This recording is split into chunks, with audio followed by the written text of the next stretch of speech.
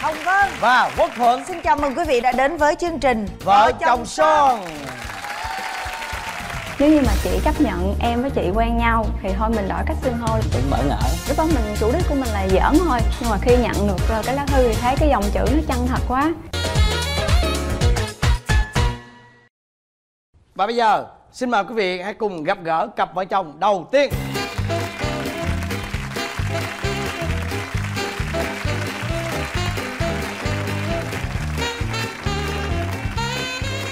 à, Xin chào hai bạn.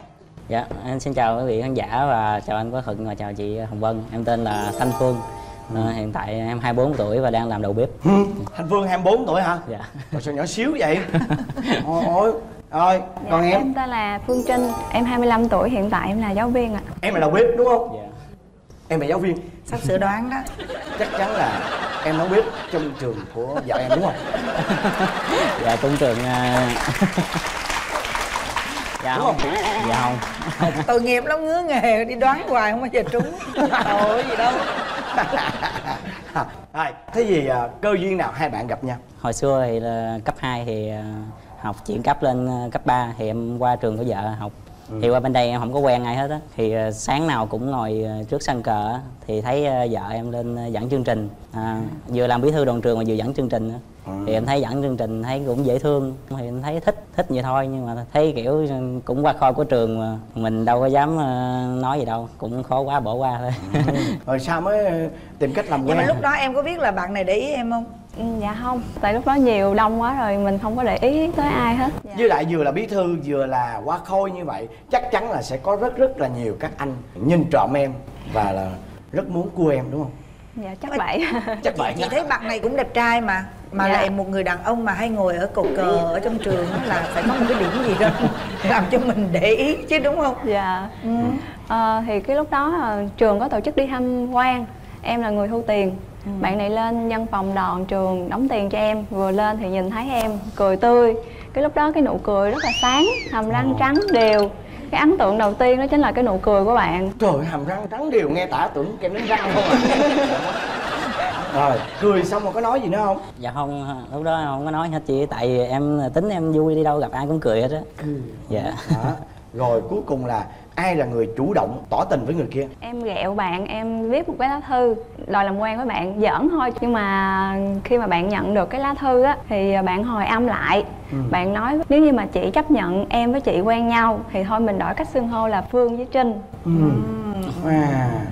Dạ, lúc mà nhận được thư thì cảm thấy ờ, cũng buồn mà cũng vui buồn là tại vì ờ, tự nhiên sau qua khỏi trường biết bao nhiêu người theo đuổi mà tự nhiên lại viết thư cho mình. Mà mình không biết cái này thiệt hay giỡn nữa. Còn ờ, vui là tại vì ờ, tại mình thích bạn này trước rồi mà giờ viết thư ngược lại cho mình thấy cũng bỡ ngỡ Ừ. mà nào giờ không có quen ai hết á không biết viết thư sao cái mới nhờ ông cậu á ngồi đọc cho viết dạ Trời ơi, Vậy là cái câu cuối cùng đó là cái tâm trạng của cậu em hay tâm trạng của em? cái câu cuối cùng là của em À. còn Chứ cái còn tâm nguyên trạng của cậu là kỳ lắm Ờ. Em nhận được cái đó em em em xúc động không? Lúc đó mình chủ đích của mình là giỡn thôi nhưng mà khi nhận được ờ, cái lá thư thì thấy cái dòng chữ nó chân thật quá. Mình không có nỡ lòng mà mình giỡn nữa. Ừ. nên thôi là chấp nhận quen. Nhưng mà chị hỏi nè, lúc mà tụi em đến với nhau vậy á, tụi em có cảm thấy khó khăn gì không? Ờ, sau đó thì quen 3 năm chị thì ờ, mới phát hiện bạn có nhắn tin thả thính với một cái bạn gái khác. Trời ơi. Rồi sau đó thì ờ, em không có chấp nhận ờ, mới là chia tay bạn thì khi mà chia tay thì ờ, cũng hối hận nhắn tin năn nỉ em nhưng mà em vẫn không chấp nhận. Rồi bao lâu thì mới mới chấp nhận mà quen lại? Dạ thì uh, em một thời gian sau ờ, cái em bị tai nạn. Lúc đó bác sĩ nói là chỉ còn 40% sống thôi. Ôi trời. À, Lúc đó gia đình em có liên hệ với Trinh nè. Trinh cấp tốc ở thành phố chạy về chăm sóc cho em suốt một năm trời. Em nằm bệnh viện suốt một năm Trời trời. Thì em nói trong bụng nói là chắc chắn là mình phải cưới được cô cô này ừ. à, Lúc khó khăn nhất thì có ở bên mình thì mình chắc chắn mình cưới cô này thôi Thì đó là có số phu thê đó, nói chung, Nói chung là- của người đàn ông đó bi. Hay quá. Khi mà hoạn nạn thì mới biết ai sẽ là cái người mà trăm năm với mình. Ừ. giờ thử đi mấy ông chồng cũng vậy. Lúc mà khỏe mạnh đi bồ đi bịch ha. Đúng rồi. thử ngã bệnh xuống coi. Chỉ Ừ. có một con vợ già Đúng rồi. Không có một em bánh bèo nào xuất hiện đó cho nên là các bạn nào mà nghe cái câu chuyện này á thì làm ơn đi rút kinh nghiệm đi đó giờ thử nói chung là coi. mình phải khuyên những anh chồng trẻ những anh chồng chồng trẻ. già cũng vậy ông nội. Ghê lắm á. Ừ. nghe nè rồi bao lâu thì các bạn mới mới mới à, mới cho chơi? để hỏi để, để hỏi này đó trinh à nguyên một năm trời em chăm sóc cho chồng em á thì cái động lực nào để em làm chuyện đó? Sau khi mà chăm sóc được khoảng 2 3 tháng á bạn có nói với em một câu là bây giờ anh bệnh em chăm sóc cho anh nhưng mà nếu một ngày anh thật sự khỏe lại nhất định anh sẽ chăm sóc như em đã từng chăm sóc cho anh. Thì chính vì cái câu nói đó là coi như là bao nhiêu cái giận của mình nó tan biến hết rồi. Hay không nào? Dạ. Nhưng mà á, cái lúc mà mà em chăm sóc chồng em á em có nghĩ là anh ấy sẽ khỏe lại như lúc mà anh chưa bị bệnh không? Tại vì á thực ra nằm mà một năm trời là nặng lắm chứ đâu có Ừ. đơn giản em Đúng ạ. rồi. dạ. Đúng lúc đó là bị tắc ruột chị mổ phải đưa hai túi ra hai bên đi vệ sinh bằng túi. Còn mình sót dữ lắm mình sót mình chỉ biết mình thương. Trong đầu lúc đó nghĩ không biết là dại hay là khôn mà lúc đó chỉ nghĩ một điều là nếu như mà nằm một chỗ thì mình vẫn chăm sóc. Trời ơi. Ừ, có nghĩa là nếu anh không khỏe nằm một chỗ em cũng vẫn sẽ chăm sóc anh vậy là tụi em yêu nhau được bao nhiêu năm ta? Dạ 7 năm rồi 7 cưới năm. ừ, rồi lấy Dạ. nhau được mấy năm rồi? À, tụi em cưới nhau được một năm. Một năm, Ừ. ồ. Vậy là Rồi. sau hôn nhân thì sao? Đó cái tật xấu có bị lòi ra không?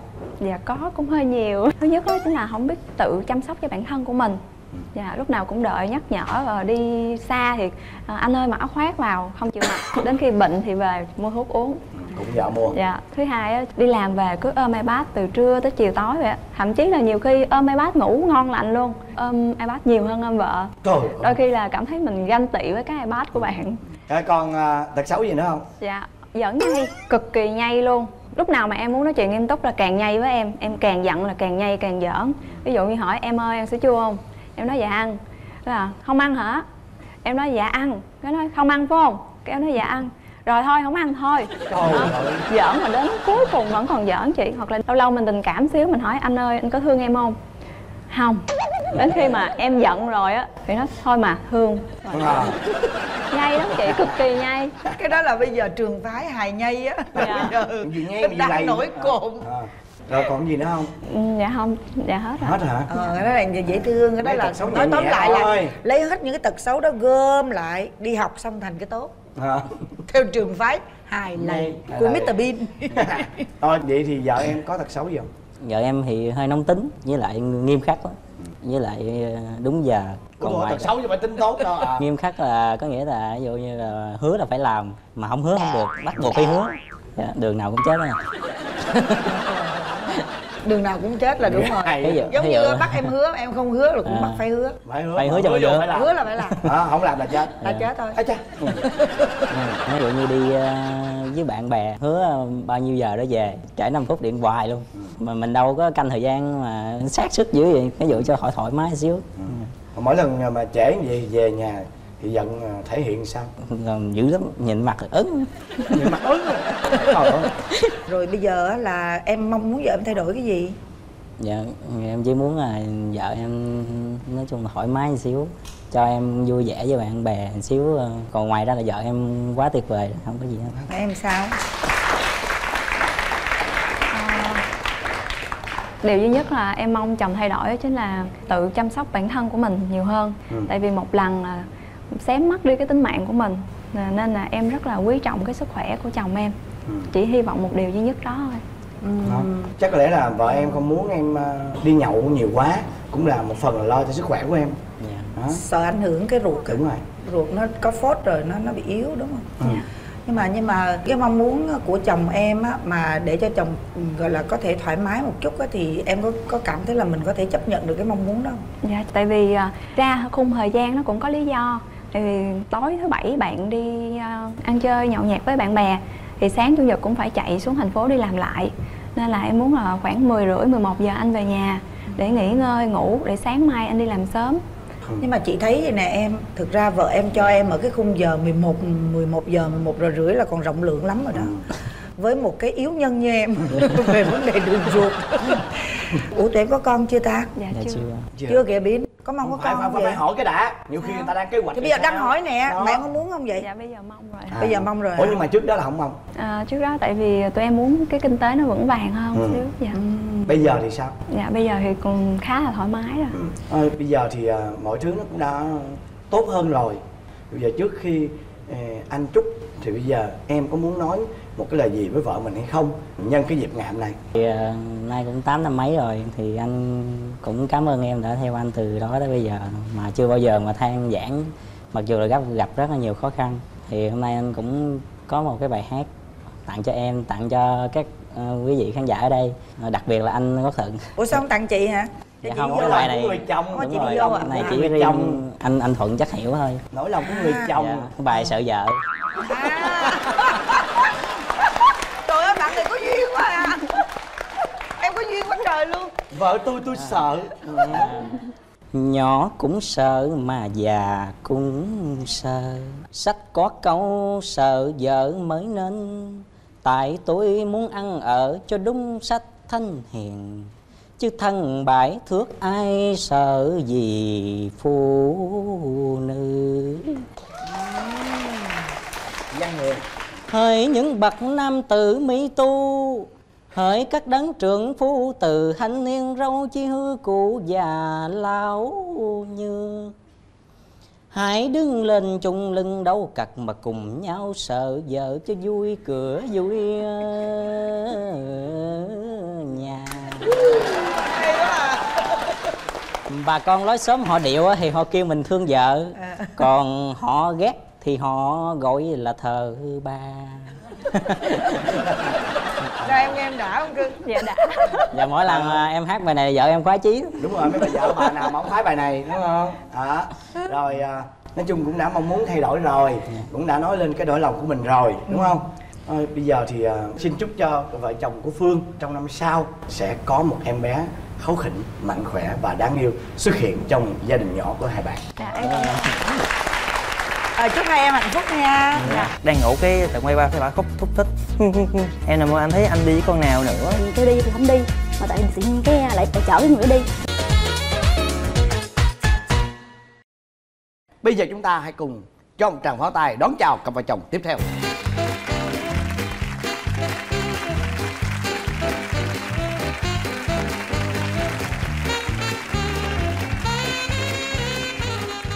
Trời ơi chú rể Tôi nhìn chú rể ra là tôi biết Nhà của hai vợ chồng này cái bóng đèn không bao giờ dơ. Tại vì ông đứng gió cái lòng lấy được bóng đèn. À Cao quá Em cao mét mấy em? Dạ em cao tám hai anh. Ồ Dạ. Thì tôi thấp hơn em có mấy tấc à? Rồi Mà em giới thiệu về mình. Dạ chào chị Hồng Vân chào anh Quốc Thuận và quý vị khán giả. Em tên là Hồng Ngọc năm nay em 27 tuổi đang làm công ty ở công ty tài chính ạ. Công ty tài chính? Dạ đúng rồi Hồng Ngọc. Mấy người tên hồng ai dễ thương? À, dạ. Lót Hồng. Hồng Vân, Hồng Ngọc, ông đào. Hồng Đào. Hồng Thuận. Nhạc sĩ Nguyễn Hồng Thuận á. Có mà. sĩ Nguyễn Hồng Thuận đó. Là tác giả của bài hát Ngày mai tôi sẽ lấy vợ rồi. À. Rồi Mời à, chú Lệ. Dạ em chào Châu Vân chào Quốc Thuận và chào anh chị ở trường quay. Thì em tên Sang dạ em thì năm nay 26 tuổi nhỏ hơn em một tuổi. Em thì đang làm à, nhân viên ngân hàng. Ồ, hôm nay hai cặp vợ chồng. Hai anh chồng đều à, nhỏ hơn vợ mình một tuổi. Dạ. À. Rồi, à, hai em Cái lần đầu hai em gặp nhau là như thế nào? lần đầu tiên á là do em với vợ em làm chung một công ty. Ừ. ấn tượng đầu tiên của em về vợ nó cũng à, mắc cười lắm. Em thấy cái bà này á cái người này nhỏ nhắn có xíu à mà cái môi đỏ chót mà lúc nào cũng ý kiến hết trơn á trong buổi họp á quản lý người ta nói chuyện ai cũng im lặng có mình bảo anh ơi cho em ý kiến anh ơi cái này sao kỳ anh anh ơi cho em ý kiến. Thì ba làm từ đầu tới cuối luôn. Cái từ đổ của là bà ý kiến à, không ý kiến không. Mình nói mẹ này đã cái môi đỏ rồi sao cứ nói hoài? Đã cái môi đỏ. Nó nghe nè, cái môi đó là Cái màu đó nó giống như màu hôm nay không? màu đỏ tươi á. Đỏ tươi luôn hả? Còn hôm nay đỏ gì? đỏ cam. Đỏ cam. Ừ. này đỏ xém tươi. Ồ vậy đó còn em có ấn tượng gì với anh lâu gọi là lâu bóng đèn này không? Dạ lúc mà hai chồng làm công ty chung á thì à, em làm vô trước xong rồi à, em làm được hai tháng á, thì chồng em mới vô. Lúc đó thì à, em cũng không ấn tượng gì lắm tại vì lúc đó em cũng có bồ rồi. Ừ. em có bạn trai nên em cũng không để ý lắm. Nhưng mà trong công ty á ồ ồ hôm này cao quá. Xong rồi có gửi mail gửi hình qua cho coi cho, cho, cho tất cả công ty coi luôn. Thì em cũng coi cũng coi vậy thôi chứ mình mình cũng không có để ý gì hết là ấn tượng chỉ là anh này cao quá và Dạ. mọi người xì xào về cái chiều cao của anh. Đúng rồi vậy thôi. À, Rồi thì, thì, thì, thì làm sao mà cua nhau? ai của ai? Dạ, thật ra là em chú ý tới bà nhiều hơn. Do là lúc đó cũng không có để ý đến ngoại hình của cổ lắm Tại vì mình cũng không có thuộc dạng mê gái. Mình chỉ hơi, mình chỉ hơi háo sắc thôi. Ờ, rồi. Lần đó thì à, công ty em tổ chức cái uh, New Year Party anh anh chị. À. thì à, lúc đó à, chị cũng có tham gia nhưng mà lúc đó hôm đó công nhận là chị xinh thiệt. Thì không biết biết sao mà nhìn chị bị bị xét đánh luôn cái mình nghĩ thầm trong bụng đấy, con này xinh quá chắc chắn ngọc sau này phải là của mình Trời ơi. mà lúc đó luôn. lúc đó chưa có chưa, chưa có nói chuyện với nhau nhiều mà tự suy nghĩ vậy á rồi lúc đó mới bị xét đánh ngang tay Ờ. lúc đó là cổ đang làm cái gì mà em lại phát hiện ra là cổ đẹp. Dạ tại vì à, cổ à, đi tiệc á rồi cổ à, cũng sửa sang lại nhìn nó cũng đẹp. Rồi sửa sang lại thấy ghê quá. Sửa soạn chứ sửa sang. Tại vì á bình thường chị không có trang điểm có make up gì hết trơn anh chị có quánh môi đỏ chót rồi đi. Còn cái bữa sau là có trang điểm. Dạ Đúng cũng không không? có trang điểm nhưng mà cũng diện đồ cũng dễ thương. Diện đồ lên. Dạ. rồi có chủ động tới ờ, cua không? Dạ không có cần chủ động đâu là bà nắm đầu em lại nắm đầu lại. Nắm đầu lại kêu sang sang sang chụp cho một cái tấm hình cho sang. Mà từ mấy tấm của bả là tới mấy lần. Ồ, chụp hoài chụp đó muốn cháy mấy. Tại em khó chụp hình á. Chắc anh nghĩ là trong cái lúc chụp hình là em phát hiện ra được cô này quá đẹp đúng không? Dạ đúng rồi. Lúc mình chụp mà mình làm phó nháy thì mình phát hiện ngay cổ rồi cô xinh quá. Mình mới nghĩ trong đầu rồi cô này ngọc và sau này phải là của mình. Của mình nữa? Hả? Đó. À, khẳng định đi luôn hả? Nhưng mà lúc đó chưa có gì gì với nhau hết trơn mà dám nghĩ như vậy á. trời ơi. Mà không biết sao sau cái ngày party đó em đi làm bình thường lại em quên là quên bả luôn. Là không có không có liên lạc không có nói chuyện gì với nhau luôn. Rồi bao lâu hai bạn mới chính thức là có thể là gặp nhau rồi hẹn hò? Dạ xong rồi à, cái hai đứa là trong công ty đó. Cái rồi họ tính nhau đi chơi chung này nọ ăn uống. Tại vì lúc đó lúc mà cái đi party á là em đang thức tình là em chia tay bạn trai. À, à à. Ừ. cái đi từ từ từ cái hai người rất là hợp. Ăn À. ăn uống đi xem phim rất là hợp nhau. Nhưng mà ai là người chủ động tỏ tình? Dạ, em chủ động ờ, hốt bả lần đó cũng có cái trùng hợp là hai vợ chồng đều thích chơi bia lúc đó là mê quá rồi không chịu nổi rồi. Suy nghĩ trong đầu là thôi hung hung đại cái làm liều. Liều có nhiều. Cái mình tính là mình làm tính hôn cái bà biết sao bà né né. Đó rồi lần sau mình mới lấy can đảm mình tỏ tình luôn. Đó là tỏ tình trong bàn bia luôn. Không dạ không bữa sau ra biển tỏ tình. Ra biển? Dạ. ra biển Ủa mà, luôn. mà đi đâu mà mà mà Không, mà, mà mà tối đi đó- biển? Hả? tối đó là nhắn tin rồi. Ừ. Mà hai đứa đi biển mà đi có ai nữa không? Dạ không. Hả? Ở bờ Ủa, kè hai đứa đi biển luôn hả? Ở bờ kè bãi trước á. Em hỏi gì nào hỏi luôn đi. Ý là ý là chiều đi làm về á chiều đi làm về đi ăn á xong rồi chở đi ăn xong rồi đi đồng biển chơi vậy đó. Tụi em ở đâu? Dạ Dạ, vũng tàu. à, anh biên đó là anh biết rồi. sao? Anh biên là anh nghĩ là tụi em ở sài gòn xong À, rồi dạ đi biển. Là có hai đứa xong ở chung khách sạn. Dạ không có không có. kia là anh tò mò như vậy đó. Trời đất ơi. lo tôi lo cho em thôi tôi lo cho Dạ. em. Nhìn nhìn cái bản mặt là biết rồi tôi- trợn ngược lên. Hết người lông mũi luôn rồi. Hai người hai hai chồng đào vũng tàu luôn. Đó thì cái, cái chuyện đi ra biển là đi ra biển rồi sao rồi tỏ tình sao tỏ tình sao? Mình nói là ngọc ơi vậy bây giờ mình quen nhau nha. Mình đóng phim dài tập. Đóng phim về tập. Rồi sao rồi ngọc sao? Ừ, tại vì lúc đó em cũng cũng thích thích vẽ à. Cái xong rồi em đồng ý. Sau đó có đóng phim về tập không? Dạ đóng phim tới giờ phim luôn. thể loại gì? Dạ tới lỗi cái tình cảm lãng mạn. Pha chút ờ, pha chút hành động bạo lực. Mà có hài hước không? Dạ cũng có có vui không? Dạ vui anh. Phải hỏi gì nè sau bao lâu ở cái chỗ mà bờ biển đó đó dạ. thì là tụi em làm đám cưới với nhau? Dạ hai năm ba tháng ạ. Ủa tụi em cưới bao lâu rồi? Dạ thôi em cưới được ờ, một năm ba tháng. Ờ, mới cưới. Vậy thì về ở chung nhà với nhau thì à, có hiểu nhau hết luôn và thậm chí là có những cái tật xấu gì lòi đâu dạ thì ờ, thật ra cũng hiểu nhau quá rồi tại chính tính cổ cũng thật thà lắm. Có như là mình hiểu hết mà không ngờ cưới về còn lòi ra thêm Trời. Ơi, tính chỉ hay ghen lắm. Kiểu như là em đi làm á mà em hay ờ, nhắn tin hay là em gặp gỡ bạn nào mà là phái nữ á là cổ phải biết cho bằng được rồi quan hệ như thế nào. Nó tin gì và facebook sao để lên xem mặt coi nó xinh hay không. Đó là cổ ghen lắm. Rồi đi đâu em cũng phải báo cáo chị hết trơn á. Xong rồi sau này cưới về á là vợ em chuyển cái sự ghen đó sang một cái level khác nữa đó là là, nâng lên là là thêm một cái level kinh khủng hơn. Level kinh khủng hơn. Lần đó hai chồng đang nằm ngủ chung tự nhiên chỉ quay qua chỉ thụi một cái đùng. Trời làm gì quay qua sao quýnh tôi chứ vậy? Cái tôi nằm mơ thấy ông đi với con nào. Em bị mấy lần luôn á. Mà đang ngủ mà bị đang ngủ. Bà bà bà thụi ngủ cái trời em hết cái bụng luôn. bóp luôn. Trời đất ơi. ông hết hồn luôn. mà đó là tập phim kinh dị. Là tập phim tình cảm nó khác. Đang ngủ cái tự quay qua thấy bà khóc thúc thích. Hỏi gì em em nằm mơ anh thấy anh đi với con nào nữa? Trời ơi. ôi nghĩa là tức là cái ghen tuông nó rơi vào một mộng mị luôn á là Cái này gọi là nó đi từ thế giới thật vô thế giới ảo. Luôn cái này là mộng ghen đó. Nhưng mà bình thường là mình thức á mình nghĩ cái gì thì tối là ngủ lại cái đó đó. Dạ. Tức là chắc có lẽ là ban ngày chắc em cũng cũng canh me ông này dữ lắm ghen không có lắm. có nghĩa là em đã từng bị rồi hay sao mà em bị bị à có nghĩa là trước khi cưới á là chồng của em á là làm trong công ty á là xong rồi đợt đó là em kêu là anh ơi à, hai tụi mình đi ăn đi. Thì chồng em mới nói là thôi anh mệt quá để anh về có gì bữa nào đi ăn sau. Thì em nghĩ vậy thì thôi. Cái à, em đi ăn với bạn của em cái à, trên đường đi em em gặp mẹ chở cái chị đồng nghiệp đó là chung công ty với em luôn. Ồ. cái chị đó hơn em 2 tuổi. Cái xong em mới hết hồn. Em nói ủa sao kỳ vậy? Sao lúc mình kêu đi thì không đi mà tại tự nhiên cái lại lại chở cái người đó đi. Thì em thấy em không thích. Em chạy xe em chạy thẳng lên luôn. Em hỏi ủa sang sang niên về nhà sang, sang cơm đó hả ý là em tức em nói vậy á em nói em móc á. Cái xong em chạy bực chạy em chạy đi luôn. Cái ý là em, em giận á. Ừ. Nó có lý do gì không? Dạ hay có. Thật ra lúc mà giờ em rủ đi ăn á là em cũng mệt thiệt em không có ăn tính về nhà ăn cơm. Mà vô tình trên đường đang đi thì cái chị đồng nghiệp đó chị gọi chị rủ đi ăn. Tại em có một số việc cần bàn với chị. Mới nói là thôi vậy chị em đi ăn đi sẵn em có một số việc em muốn bàn với chị nó xui sao mà hai chị em đang lon ton đi kiếm quán thì bị vợ em phát hiện. Mà thiệt vậy không? Dạ đúng rồi. Mà thiệt là bạn công việc không? Là- thiệt vậy không? Hay là Dạ, thích thiệt. người lớn hơn 3 tuổi? Dạ thiệt. Hôm Đó. nào cũng vậy á. Tới giờ nó ờ tại em vợ lúc đó chứ em này kia nọ. Trời cái đó dễ quá mà Miệng đúng không? lưỡi nhắn tin nó ờ em ơi anh đi ờ, có Đúng công rồi. việc ờ làm ăn phải rõ đồ, ràng kiếm tiền đồ ừ thì có Đúng sao đâu. Dạ chắc tại vì một phần cũng do công việc của em thì em hay ra ngoài gặp khách hàng nhiều á. Nhiều khi em nói là em ơi anh không ăn cơm anh đi gặp khách hàng. Kiểu như bà nghi nghi. Rồi tật xấu của anh ấy? Và tật xấu của chồng em á hả? Mỗi lần mà em nhờ làm gì là hay hẹn không có làm liền. Từ từ mà em không thích em thích là ví dụ như là em nhờ làm gì là phải làm liền cho em. Chứ mà hẹn hẹn là em ghét lắm. Thường hẹn thì nó đi đôi với hứa lèo. Đúng rồi đó hứa lèo đó. Đó tổng cộng lại là họ hứa đó. Dạ đúng rồi.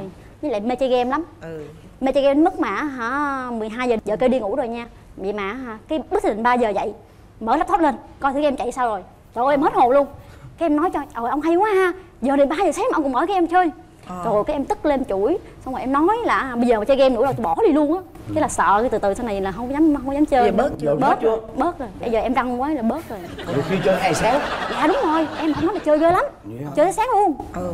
Còn gì nữa không? Nói chung là hay giấu em chưa có chia sẻ với em nhiều lắm. Giấu về cái vấn đề gì? Về vấn đề công việc chắc tại chồng em không em buồn á lo lắng nhiều nên là chồng giấu. việc. nhưng mà em nghĩ đã là vợ chồng với nhau thì khó khăn gì thì nên chia sẻ với nhau để hai chồng cùng bàn bạc quyết với nhau thì tốt hơn. Còn về tiền bạc thì sao? Có cái đợt này gây cứng lắm anh kể đi. Dạ tại vợ em chi tiền rất là kỹ nên là em tin tưởng giao hết là cho vợ em giữ đấy nó cũng nhẹ người, tại có người giữ tiền cho mình mà. Mà có một thời gian đó em đi làm á, thì công ty của em gọi là nó bị trục chặt á, nợ lương một tháng. Mà thời gian đó hai chồng chi nhiều quá, thâm thủng tùm lum á. Cho nên em không muốn vợ em là cuối tháng mà nói em ơi anh có lương. Cái bà lại à, đau đầu với suy nghĩ, bà bị giấu lộn tiền đình nữa. Thì em giấu, em chơi bộ em về nó lén lén. Em vô cái chỗ mà cất tiền tiết kiệm á, em rút ra, cái em chạy ngân hàng em chuyển vô tài khoản của em. Em em em, anh có lương này đi giúp em. Đó, bà mới đi rút. Xong rồi xuôi đi, tự bà rút giờ bà nói, anh ơi bữa giờ mình tiết kiệm được nhiêu anh? Giờ đếm kiểm tra thôi. Nhiên linh tính đó chị. Cái xong rồi cái em mới nói với ổng là anh ơi anh mình mở ra coi mình đếm thử mình được bao nhiêu mình đi mua vàng. À. tại vì tính của em là mỗi lần mình để dành nhiều là em đi mua nhiều vàng. cây vàng. Vậy đó. Cái đếm cái em thấy thiếu. Cái em nhìn ổng. Cái em nói ủa tại sao thiếu kỳ vậy? Anh nói cho em biết đi. Không mà anh bảo nói thật là mệt với em á.